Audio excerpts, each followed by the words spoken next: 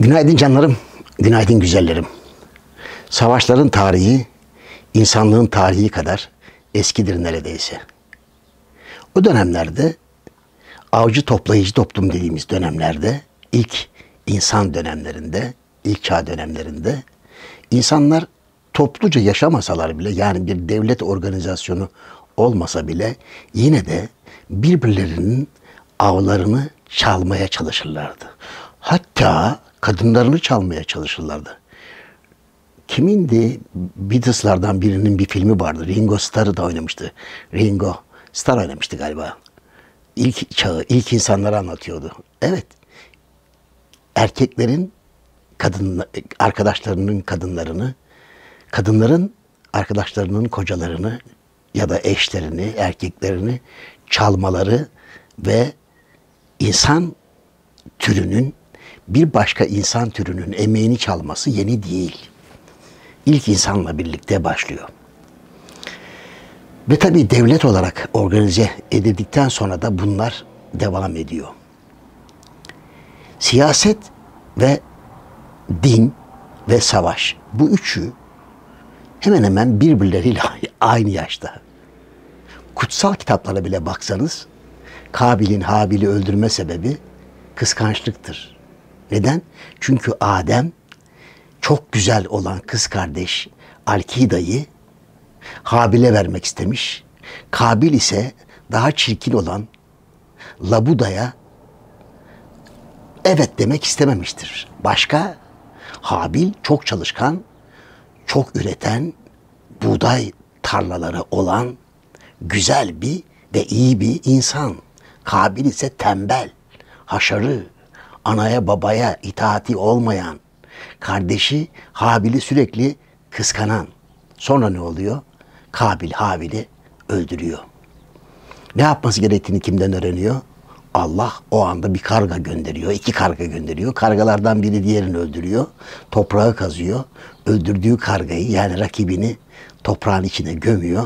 Ve böylece insan da ilk insan da ilk katil, ilk katil ki Hazreti Adem'in oğlu Kabil'dir. Yani bir peygamber çocuğudur. Toprağı eşeleyip Habil'i toprağa gömüyor. Canlarım bunları neden anlattım? Niçin anlattım? Kısaca söyleyeyim dedim ya.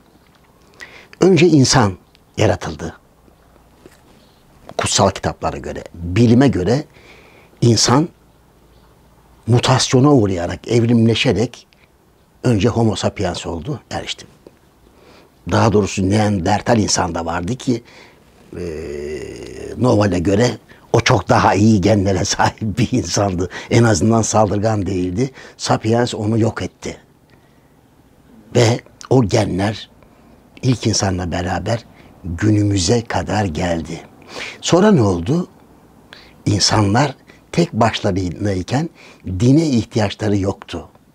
Topluluk halinde yaşamaya başladıktan sonra bugün olduğu gibi o günde gücü ve zekası ve bilgisi diğerlerinden farklı olanlar bilgisiz, cahil ve güçsüz olanları salt kendi çıkarları için kullanmak adına din daha doğrusu o dönem için tanrılar üretti.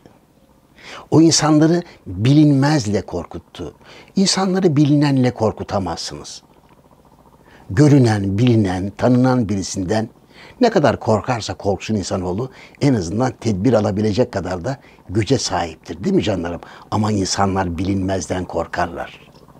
Bilinmezden korktukları için ilk akıllı, diğerlerinden akıllı, diğerlerinden zeki, diğerlerinden bilgili, diğerlerinden güçlü olan insanlar işte o tanrıları yönetmek istedikleri insanların üzerinde kullandılar. Tanrılarla korkuttular o insanları. Ve yıllarca onların emeklerini, her şeylerini sömürdüler. Daha sonra da devlet isimli organizasyonlar kurulmaya başladı. Neden? Çünkü insan nüfusu artıyordu. Ulaşım bugünkü kadar gelişmiş değildi. Bilgi bugünkü kadar gelişmiş değildi. Bu defa artık şeflerin yerini krallar, şahlar, sultanlar, padişahlar almaya başladı. Onlar komşu ülkenin topraklarını tek başlarına elde edebilirler miydi? Ya da saraylarındaki askerleriyle beraber. Saraylarında kaç asker vardı ki? İşte onun üzerine, onun üzerine dinler ortaya çıkmaya başladı. Dinleri kim çıkardı? Krallar, şahlar, sultanlar, padişahlar çıkardı. Dönün eski dönemlere, 4000 sene öncesine falan. Dönün eski Mısır'a, din adamlarının, rahiplerin, rahiplerin, kralların, firavunların bile üzerinde olduğunu göreceksiniz. Neden? Çünkü kral tebaasına şunu anlatmaktadır. Ben bile dinden ve dinin gönderdiği rahiplerden korkuyorum. Siz de korkun demektir. Haliyle krallar, firavunlar bugün de din adamları, ulema dedikleri din adamları ülkelerin dönem ülkelerin başbakanları, cumhurbaşkanları ile el ele çalışırlar. Sadece bizde değil, bütün dünyada böyledir. Çünkü insanları ölüme gönderiyorsunuz. Ölüme gitmek kolay değildir. Hele insanoğluna bugünkü yaşamın, bu dünyadaki yaşamın çok kısa olduğunu, öbür dünyadaki yaşamın ise sonsuza kadar süreceğini anlatır ve ikna ederseniz, eğer eğer devletinden önce dini için o nedenle bütün savaşlara bakarsanız niçin çıkar savaşlar? Dinime düşman, mezhebime düşman. Dünyadaki bütün savaşlar din ve mezhep savaşlarıdır. Özünde görünen kısmı, pardon özünde olur mu? Sözde. Özde kral, şah, padişah, emir, sultan, devlet başkanı, cumhurbaşkanı, başbakan bunların topraklarına yeni topraklar katabilmesi, zenginliğine zenginlik katabilmesi içindir. Peki o gençler nasıl gidecekler ölüme? Şehit olursanız öbür dünyada sizi göğüsleri henüz tomurcuklanmış sizin yaşınızda genç kızlar karşılayacak. Onlarla birlikte olacak şarabın en kralını içeceksiniz. Aynen de böyle yazıyor. Aynen de böyle yazıyor. Ne olursunuz lütfen açın Kur'an-ı Kerim'i, bu, bu ilgili sayfalarını okuyunuz. Sadece Kur'an-ı Kerim'de değil, bütün kutsal kitaplarda yazıyor bunlar. Bizim dediğimiz ne? Savaşların önüne geçmek için Kur'an'da mutlaka bazı Kur'an'da İncil'de ki protestanlar İncil'de çok büyük yenilikler yaptılar. Şu anda dünyanın en en en varlıklı, en gelişmiş ülkelerinin halklarına baktığınızda protestanlar olduklarını göreceksiniz. Bir ara söylemiştim Recep Tayyip Erdoğan da İslam dininde yenileşme, tecdit istemişti. Tecdit istemişti. Ben de kendisine o günlerde destek vermiştim. Ama bir daha ki kendi danışmanı, baş danışmanı Hayrettin Karaman öyle bir çıkış yapmıştı ki Erdoğan'a karşı tabi saygılı bir çıkıştı bu. Erdoğan bir daha tecdit kelimesini ağzına bile almadı canlarım.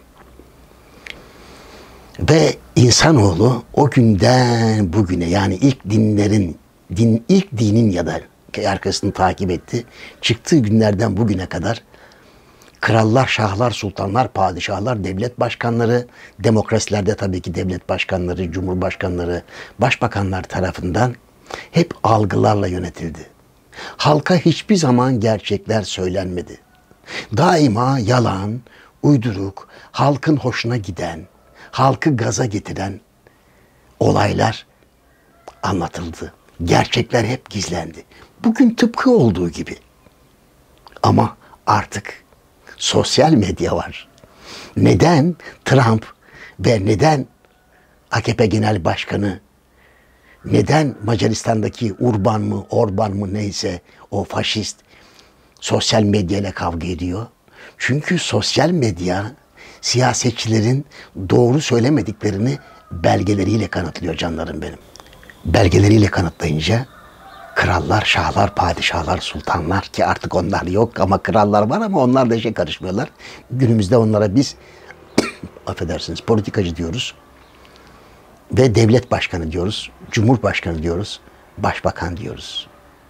İnsanların, cahil insanların, eğitimsiz insanların ve din ile uyutulmuş insanların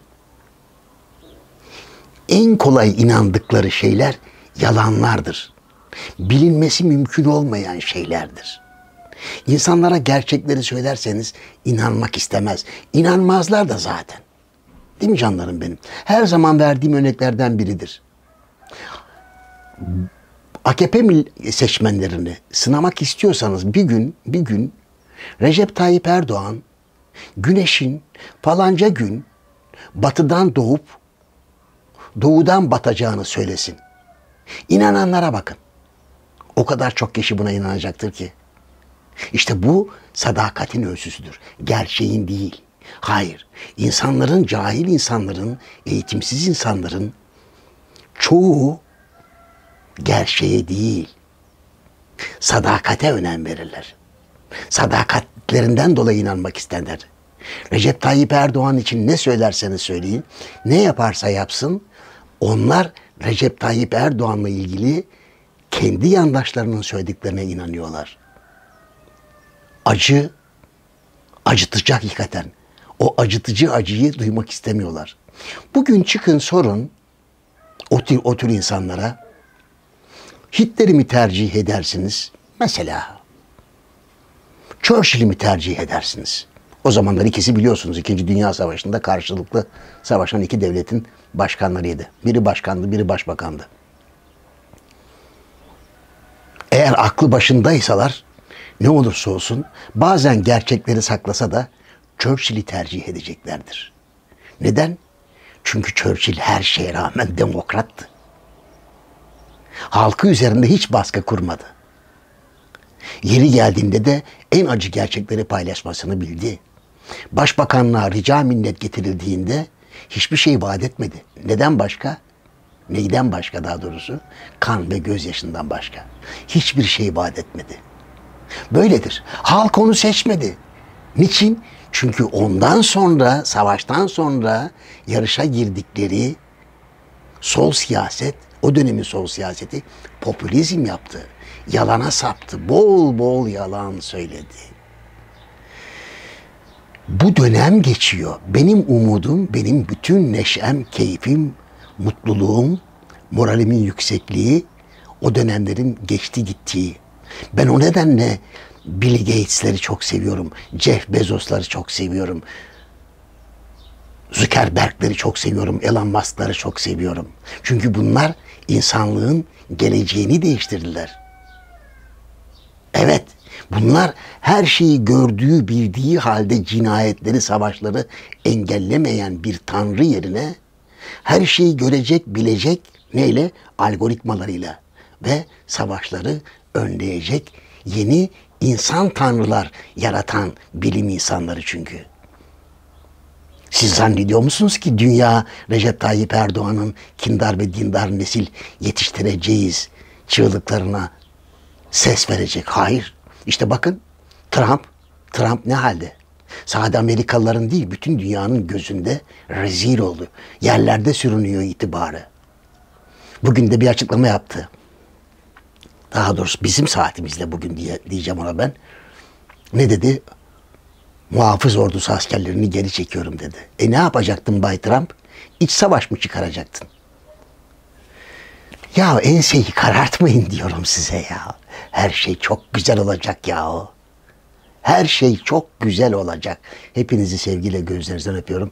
Hoşçakalın canlarım, hoşçakalın güzellerim.